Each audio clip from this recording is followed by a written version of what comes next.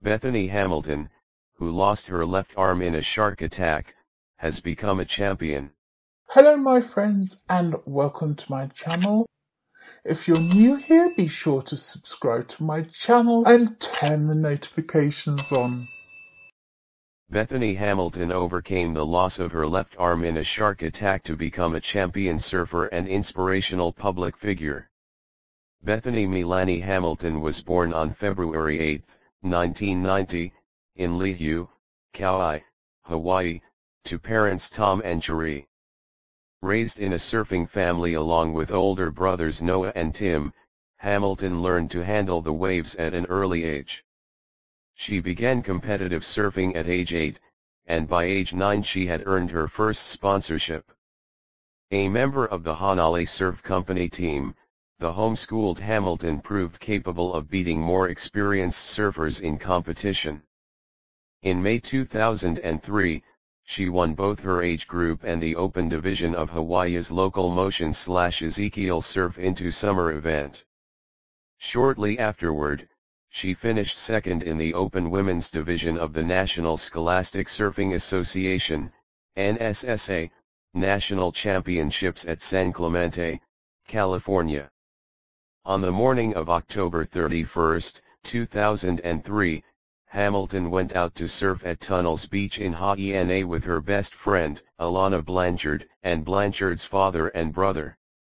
While lying on her board, Hamilton suddenly felt intense pressure on her left arm and was pulled back and forth for a few seconds before the flurry passed.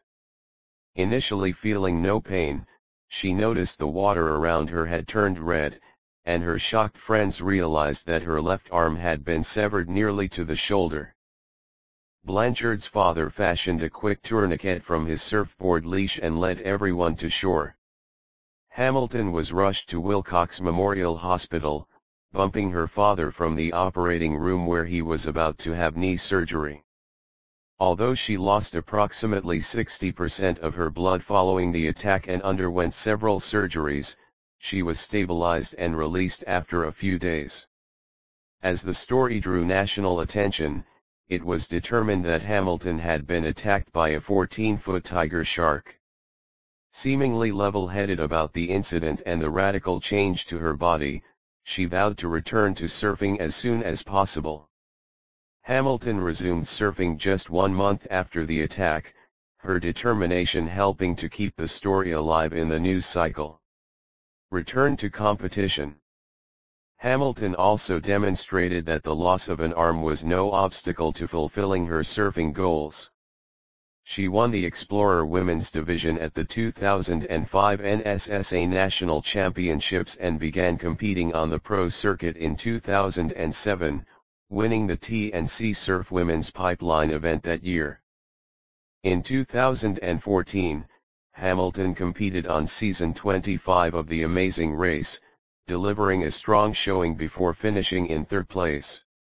Additionally, Hamilton managed to retain her competitive edge in the water despite her busy schedule, snagging first place at the Surf N Sea Pipeline Women's Pro event in March 2014.